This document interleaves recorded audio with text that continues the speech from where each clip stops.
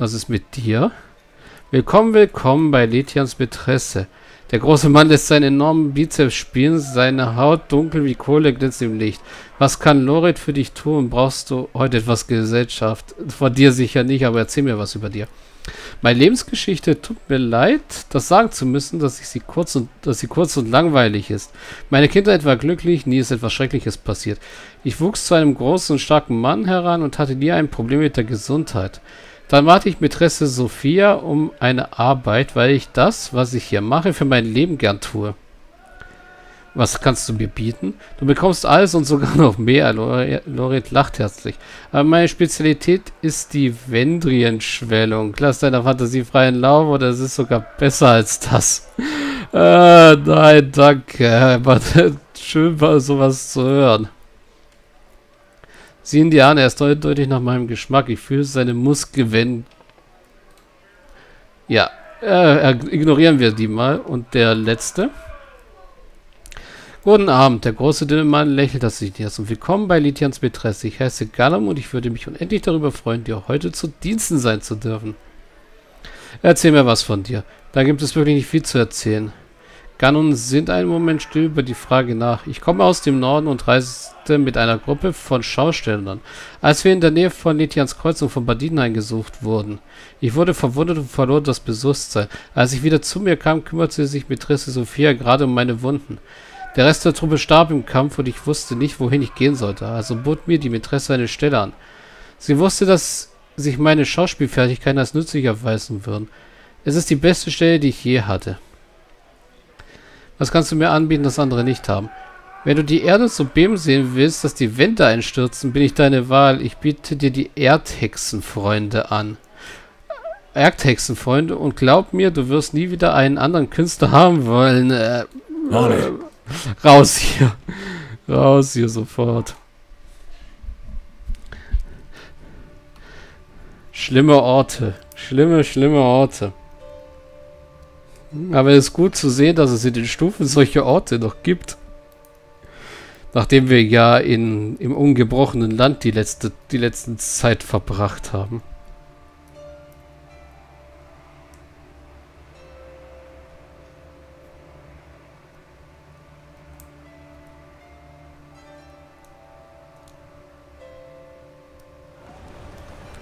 Gut. Right. Da gucken wir uns mal an, was es hier oben im Sonnenviertel noch zu sehen gibt.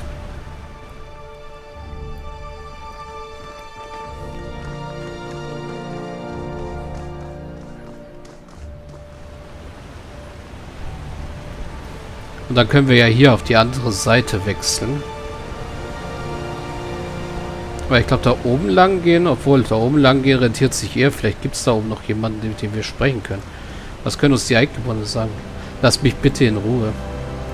Ich bin im Dienst, sprich mit jemand anderes. Okay. Ihr wisst schon, dass ich ein Schicksalsbinder bin.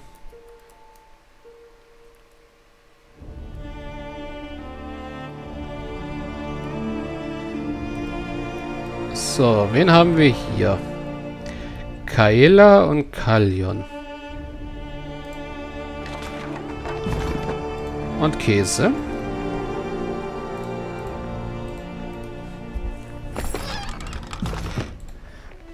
Kaela. Tut mir leid, ich bin an deinen Worten nicht interessiert. Wenn du mit jemandem sprechen willst, sprich mit meinem Bruder. Sei gegrüßt, Schicksalsbinder. Also, die haben nichts zu sagen. Sorry. Das ist vielleicht eine Hauptquest oder Nebenquest nachher dass ich von den beiden entweder was besorgen muss oder dass sie irgendwelche anderen Probleme machen oder so ähnlich.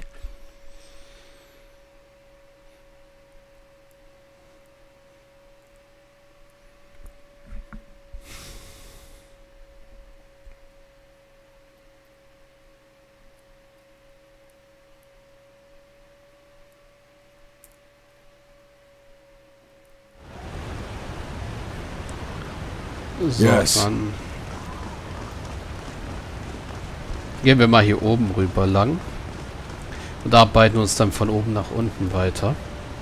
Wir haben hier ja noch das Mondviertel und den Mondaufgangmarkt und irgendwo müsste... Achso, das war einfach nur eine Tür ins Nirgendwo.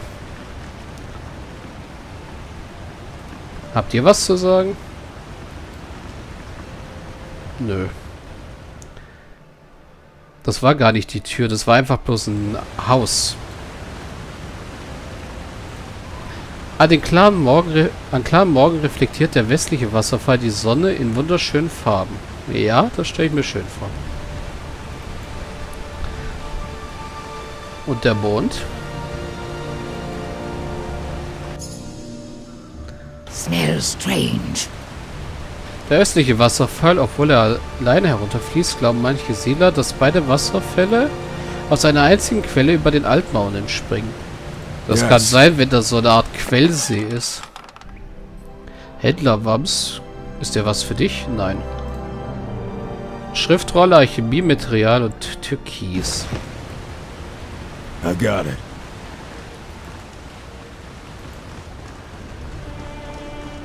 Ein Halbmondläufer. Lass mich bitte in Ruhe. Mhm. Noch mehr Siedler. Heute ist ein guter Tag, solange man nicht über die Armee hinter dem Horizont oder die Geister nachdenkt, die den Altmauern lauern. Ich habe viele gute Freunde an die Geister verloren. Ja.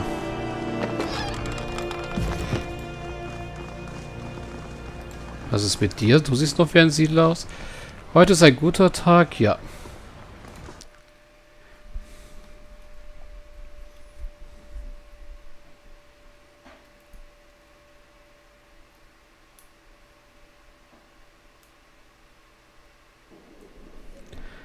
Okay, das hier ist auch nur ein Ort. On it. Hier kann ich nicht mal rauszoomen.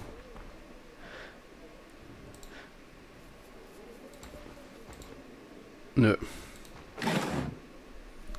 Wow, schwerer Bronzekyros und ein Stufenvoll Großbogen.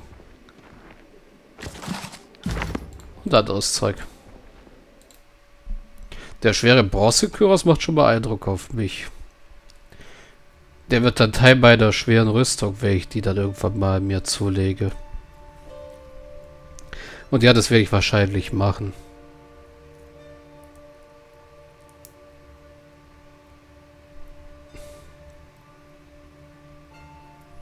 Tötet im Schatten ist übrigens das genaue Gegenteil von Barrick. Sie kann keine Rüstung anziehen, er kann seine Rüstung nicht ausziehen. Fällt mir jetzt gerade mal so auf. Yes. Was ist mit euch? Ihr habt auch nichts zu sagen. Ein Brostner wirft euch. Und ich sollte irgendwann mal Landfish Schreibfeder verbessern. Fällt mir auch gerade so ein. Rastvorräte bringen mir nichts. Ein Siedler. Hier würde es runtergehen.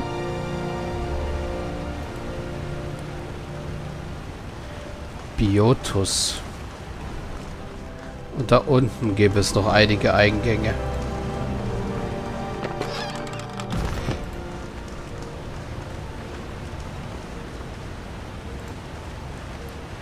Die Pflicht wartet.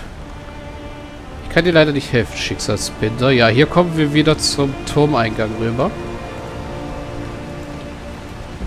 Tut mir leid, Schicksalsbinder. In der letzten Zeit sind immer mehr Geister gesichtet worden. Also haben die Altbauern für haben wir die Altbauern für Indian versiegelt.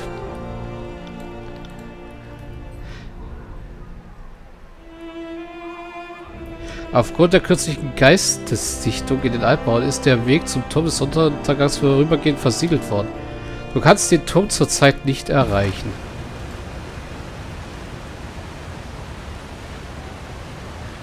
Ja, dafür brauchen wir den Schlüsselstein.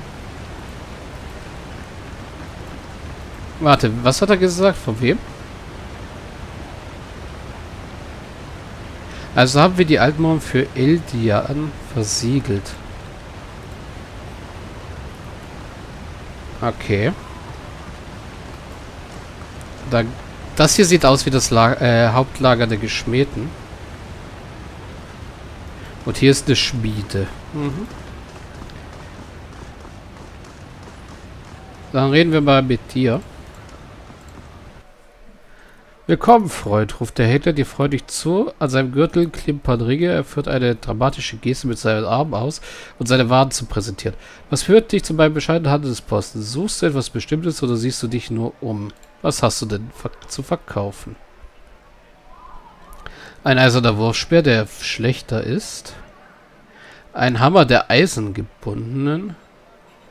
Rüstung des eisengebundenen Lehrlings. Ja. Der hat auch die Sigil. Schriftrolle enthält einen magischen Akzent, der dazu führt, dass eine materielle Gewaltzauber um brennende Angriffe erweitert wird, welche Ziele in einer Linie Schaden zufügen. Hm. Und hier kaufe ich erstmal das hier.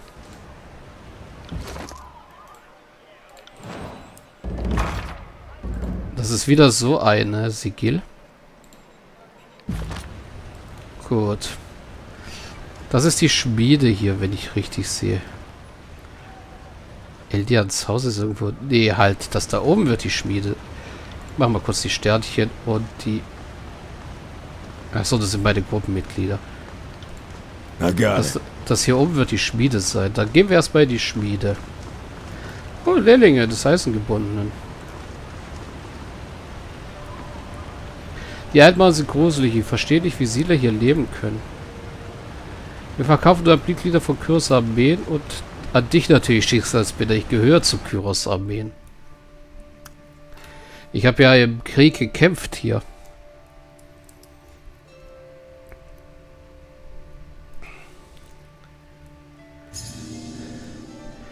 Okay. Hm. Have a look here. Eldian ist unser wahrer Anführer. Ein Rabenschal. List plus 20. Oh. Was für Lyra oder tötet im Schatten. Die Altmalen sind gefährlich und ich würde nicht empfehlen, sie zu betreten.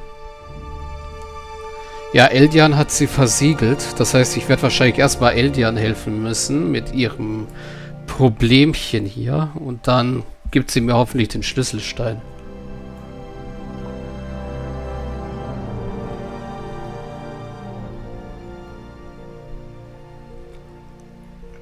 Also das hier war doch nicht die Schmiede, obwohl ein Banner der Geschmähten drüber hing. Das ist wahrscheinlich einfach nur ein Zierbanner.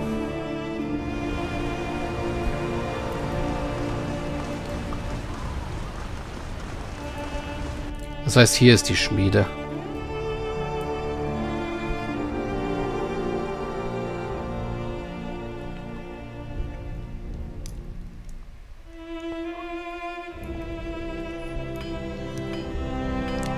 Ja. Meisterin der Schicksalsbinder ist hier. Zedina, Meisterin der Esse. Zedina wendet sich um und geht auf dich zu. Ihr drahtiger Körper bewegt sich fließend. Sie bleibt vor dir stehen, ihr Stand ist fest und sicher, aber du siehst, dass sie nur leicht auf dem Fußbein steht, jederzeit zu schnelleren Bewegungen bereit. Sie nimmt ihre Augen keine Sekunde von dir, doch du weißt, dass sie sich ihrer Umgebung noch ganz genau bewusst ist. Schicksalsbinder, mögen die Feuer deiner Älste niemals abkühlen. Sie salutiert. Ich hatte gehofft, dass unsere Wege sich kreuzen. Ich habe vernommen, dass du an der Beendigung des Edikts der Stürme bei der Wachplatzfestung beteiligt warst. Sie nickt dir anerkennend zu. Das ist eine große Tat. Ich würde gerne hören, wie dir das gelungen ist, aber du hast gewiss wichtigere Dinge zu besprechen. In meinen Jahren als Anführerin der Eisengebundenen habe ich nie gehört, dass ein Schicksalsbinder etwas so Bedeutendes getan hat. Es ist eine Ehre, jemandem zu begegnen, der solche Taten vollbracht hat. Was kann diese Dienerin der Flamme für dich tun? Warum bist du nach Lithians Kreuzung gekommen? Was für eine seltsame Frage, Schicksalsbinder. Als du in meiner Esse erschienen bist, dachte ich, du wärst geschickt worden, um meinen Fortschritt zu überprüfen. Da meine Mission von Tunan persönlich kam, solltest du sie nicht bereits kennen. Ich habe den Auftrag, ein Artefakt zu erschaffen, das die Eingebundenen vor den Geistern beschützt. Wir wurden zu oft behindert und wir haben zu viele Männer verloren. Daher wurde entschieden, dass etwas getan werden muss. Ich habe den Geisterbannhelm geschaffen, um die Geister in Band zu halten. Wie der Name sagt, sobald der Helm platziert ist, wird seine Magie die Geister in den Altmauern gefangen halten. Wir haben dieselben Ziele. Ich wurde geschickt, um sicherzugehen, dass die Eisengebundenen weiterhin Waffen für die Geschmiedeten anfertigen können. Warum hast du einen Helm geschaffen? Warum bleiben die Eisengebundenen hier, wenn die Geister eine solche Gefahr sind?